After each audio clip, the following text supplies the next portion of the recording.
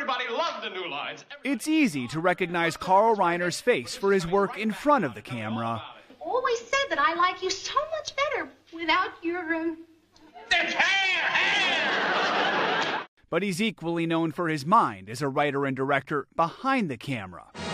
Comedy was Reiner's art. There's nothing better than getting a laugh. Born in the Bronx in 1922, Reiner's big break came in the 50s, performing on Sid Caesar's Your Show of Shows. Get out, and get out fast. From there, he teamed up with another comedy legend, serving as the straight man to Mel Brooks's 2,000 year old man. People actually hit themselves Oh, in the oh, face. boy! Wow! That hurts, though. Yeah, you bet it hurts now. Throughout his career, Reiner was a prolific writer, authoring numerous books and creating one of the most beloved sitcoms of all time The Dick Van Dyke Show. He is my mentor and my idol. He's the sweetest man I ever met and the most talented writer I ever knew. The first act curtain needs a big laugh there. The series was actually inspired in part by Reiner's life as a TV writer. Come here. Get out of here. His character on the show, the egocentric actor Alan Brady, was resurrected decades later on Mad About You. Oh, you two get away from me!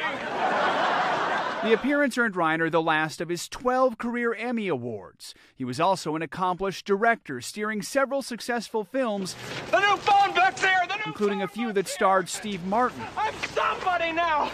Reiner never slowed down in his later years, lending his talents to the Ocean's Eleven franchise. So you're going to treat me like a grown up at least?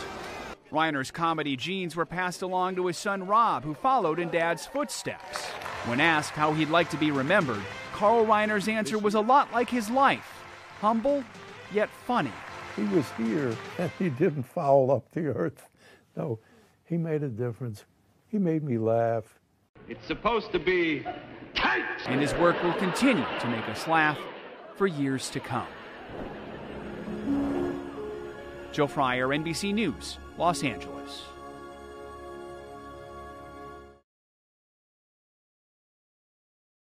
Hey, NBC News viewers, thanks for checking out our YouTube channel. Subscribe by clicking on that button down here and click on any of the videos over here to watch the latest interviews, show highlights, and digital exclusives. Thanks for watching.